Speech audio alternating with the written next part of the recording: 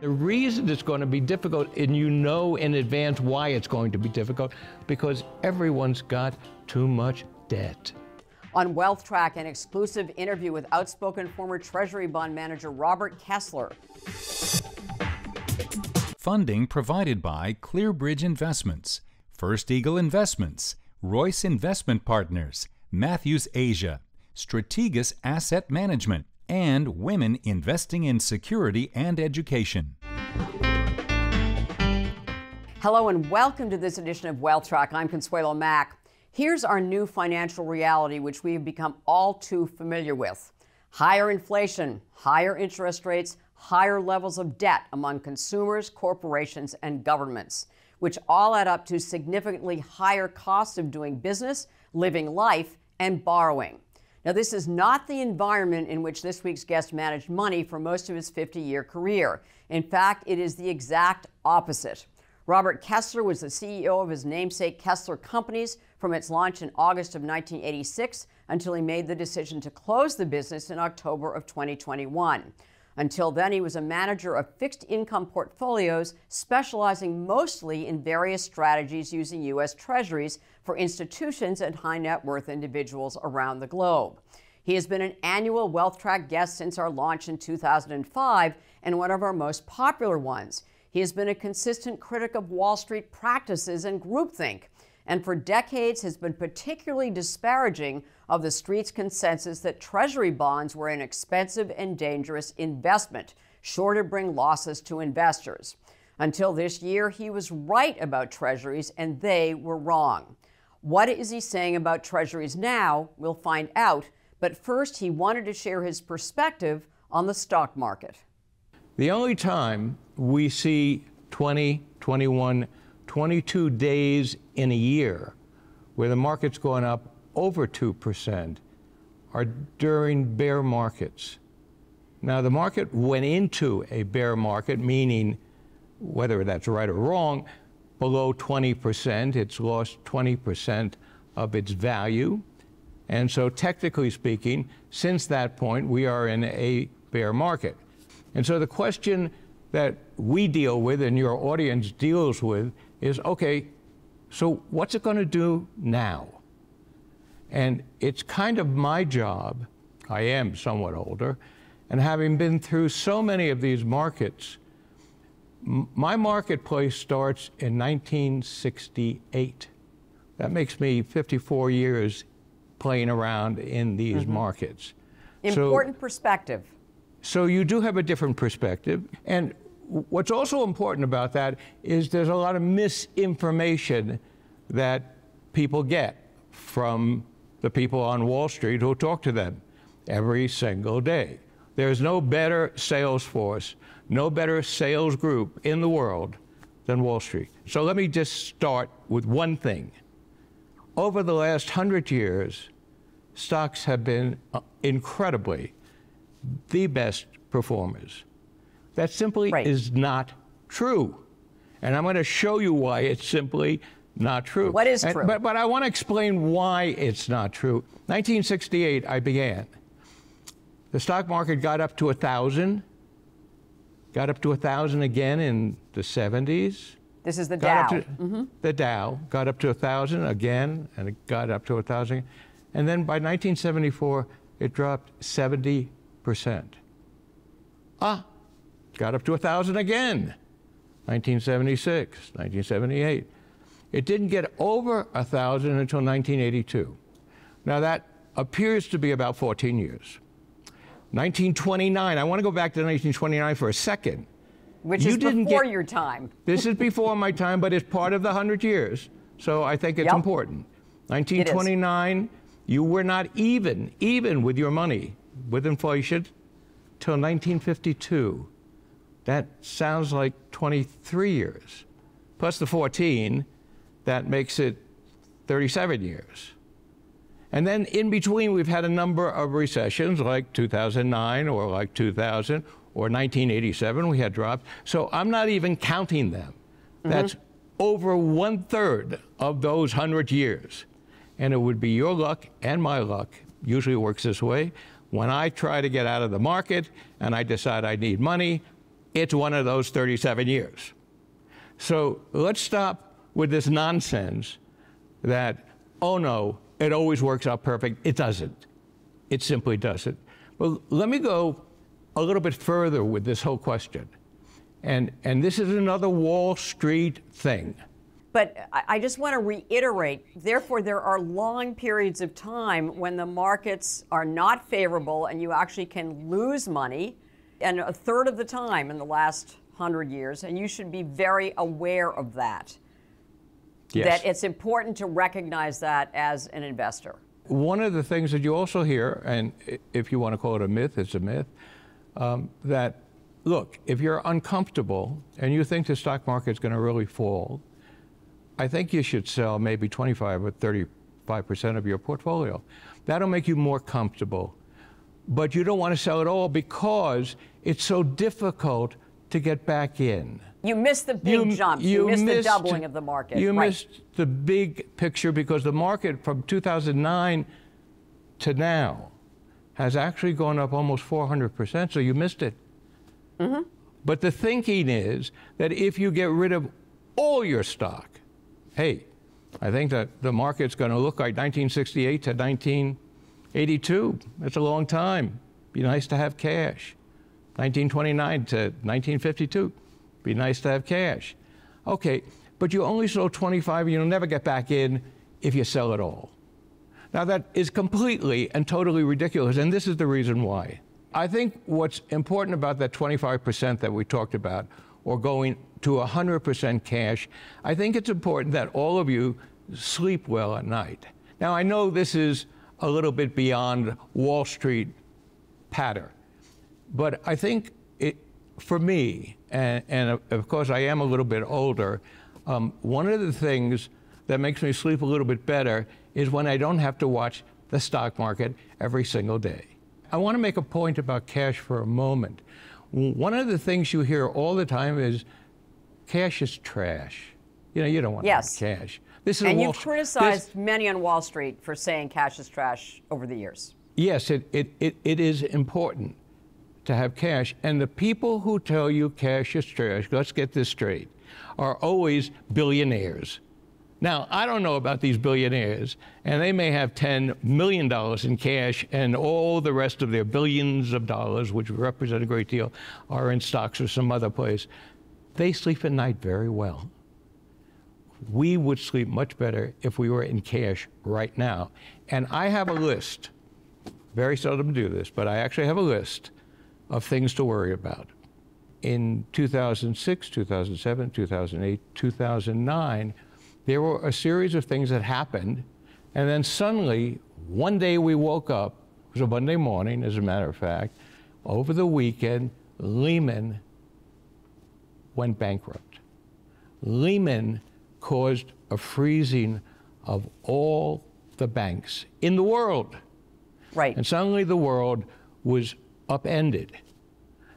No Did liquidity. We, and, no, and, and, you told me there's liquidity until there isn't. And that was a, a there isn't moment. And in fact, today, you hear that there's just a wave of money just ready to come into this market, just sitting there, all that money.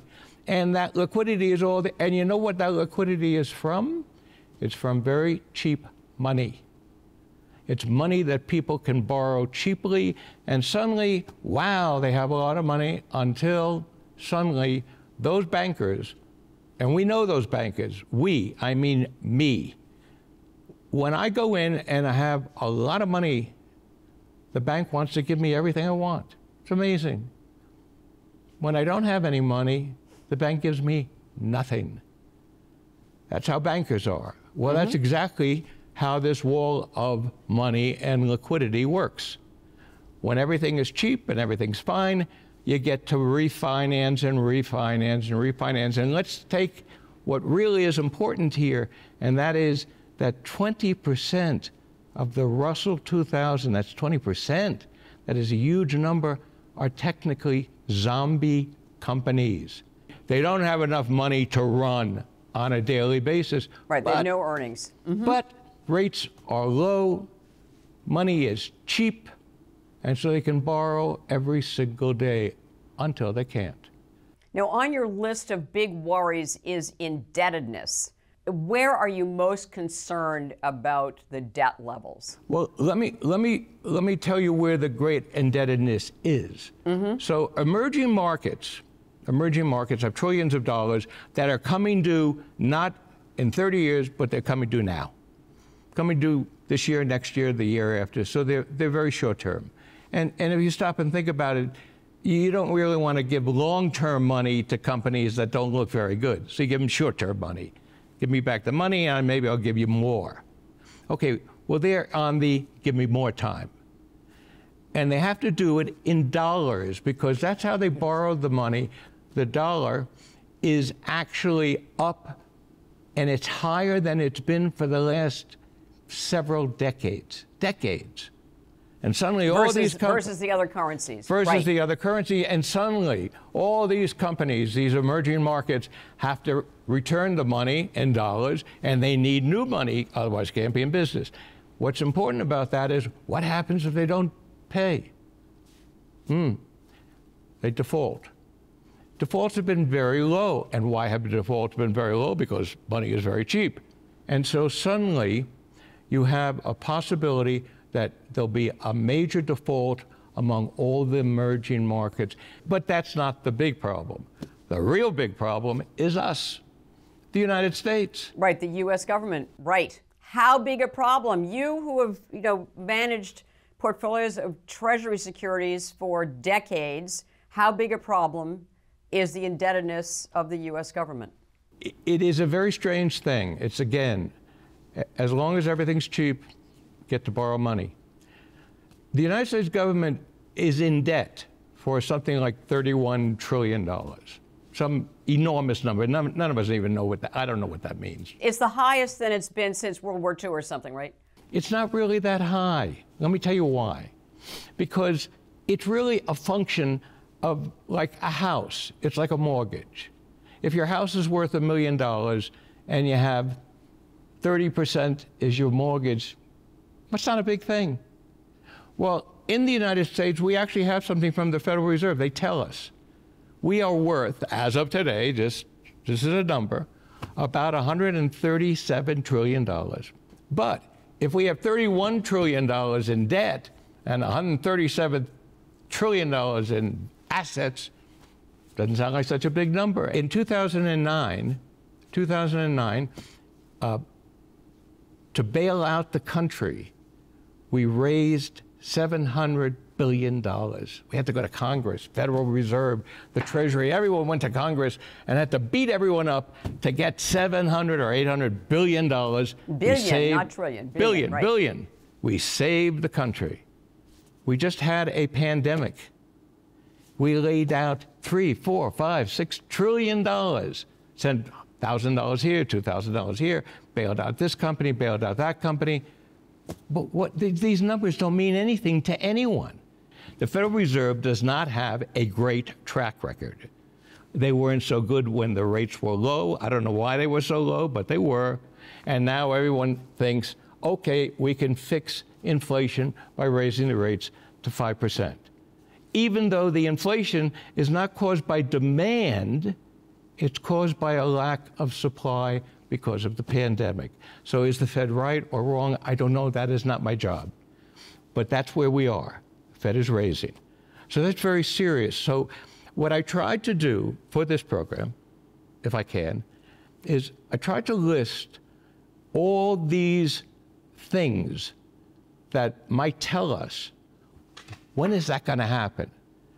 Well, even though I can name all those things, yeah, crypto is down and SPACs are down and all these ridiculous things are down, just like the dot com was down and that. That's not it. We don't know what that big bang will be that shuts this operation down, but it will happen. And the terrible thing about it happening is how long it takes. So the it that you're talking about is what? The type of event that we talk about is something that will freeze up the markets that normally work uh, extremely well, and that always is the banking system. I will add very quickly that one of the things we always say never matters what happens, the banks are in good shape. That, yes, that's what we're told. That is our favorite thing. This time, this, not last time, because the last time it was subprime. And the banks owned too much of that subprime stuff that wasn't any good. That Ben Bernanke, that was the head of our Federal Reserve, said housing prices never come down. That was not a very smart thing to say because, of course, they all fell apart. Right now, we say the banking industry is in terrific shape. This time, we have no problem. There's only one problem. None of us have a clue to what's on their balance sheets. It is very, very complicated. Our banking system and the products we sell are made by very brilliant people who know how to make everything that we don't understand. And so they're all sitting there, they're all sitting there, and they pop. Something happens. What that is, I don't know, and nor does anyone else, but it will be something now. To bring it down to kind of what we should do with our money, again, I'm hearing a couple of things. Uh, one, if the U.S. government is so indebted, even though you're saying it's not as big a problem as people think it is, but um, and in fact, their borrowing costs have gone up by many multiples and will go up by many multiples more. You know, how are treasuries going to do in that environment? So it's good that you bring up treasuries because um, treasuries were the first in, meaning the first that really went down in value and, and, and down in price. The rates went up, treasuries went down. Right. They have to be the first because the Fed raises, treasuries go with the raise. So that happens first. Usually the first in becomes the first out. So what will happen, no different than 2009, no different than 2001 2, no different than any other period of time I can think of, the Fed reaches a point, which they haven't, reaches a point that they stop. And they sit at that point. They, stop raising rates. They stop right. raising rates and they sit there at that high rate.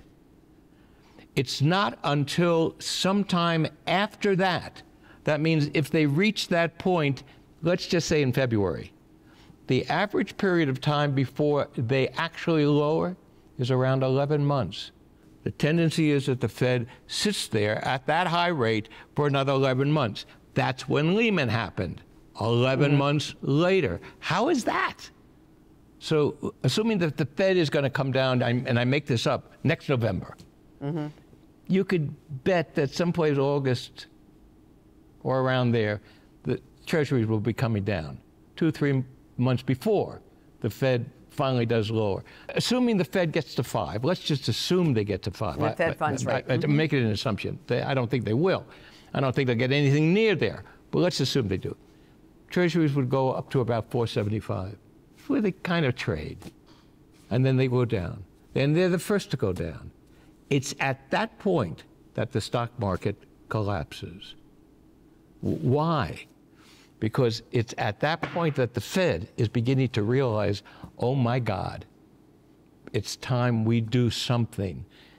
That's when the, so it doesn't happen right away. So if, if I can impart anything from my experience in, into this interview, it's that you have to have patience. That's why I say that if you think it's going to be that long a period of time, which it will be, then being in cash is a good thing. So you recently retired, and what's your portfolio positioning? Are you 100% in cash? Are you... I have long-term treasuries because I like uh-huh. treasuries. Uh-huh. They're paying me. In fact, you don't have to buy a long-term treasury. Buy a two-year treasury, it pays you four and a half percent. The heck, not so bad. Go to sleep at night. You know it's going to pay you in the period of two years.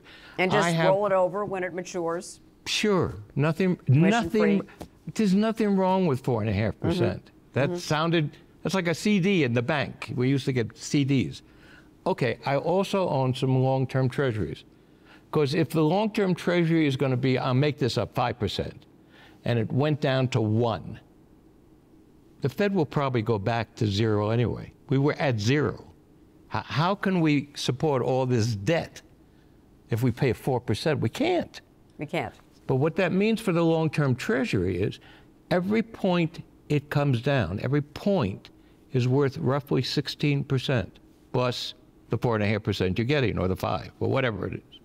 That's pretty good. The whole point is you're saying you've got to wait for all of these shoes to drop before we get there, where actually the cycle turns. We will get to zero. There, there is no way companies that we all know, companies that need to borrow money, can afford to pay 10%, 8%, 7%, even 4%. They can't. So we'll bring it to zero. Is that a good idea? No. Is that the right idea? I don't know. But that's what will happen. It sounds like a major recession is what you think we're in for. I, I think we're going to have something that is this 13, 14, 15 year period of time that mm-hmm. you're not going to make any money. Mm-hmm. Except on what? You'll make some money initially on the long term treasury. Yes, I think you will. And yes, hopefully you're a plumber or an electrician because you probably are working all the time. But it's going to be a very difficult period of time. And the reason it's going to be difficult, and you know in advance why it's going to be difficult, because everyone's got too much debt. Robert, one investment for a long term diversified portfolio, what's left of it? what would it be? Look, pay off the mortgage in your house pay off the debt you have, each one of those things is costing you more than you're going to get on your investment. Your credit card costs 19%. Do you really think you're going to make 19% in the stock market again? Do you really think paying your mortgage off is, is such a bad idea? You, you sleep pretty good at night. So, yes, for, for change, this is a little bit different than I've said in the past what I'm saying now is put your house in order. This is not going to be a, a, good period of time in front of us. If you don't have a job that really works perfectly in every environment, then think about it. Think, think about getting rid of debt. Treasury securities have typically been considered a safe haven investment. They have been considered a non correlated investment in that when stock market goes down, they will hold their value at least or go up. Is that still the case? Yeah, I, I, it's an interesting point because there is no other asset class, none. There isn't one you can name, nor can anyone on Wall Street name another asset class that does as well as treasuries do when things turn bad. Great. Robert Great. Kessler, thank you so much for taking the time to appear on Wealth Track. Hey, come on, I put on a jacket.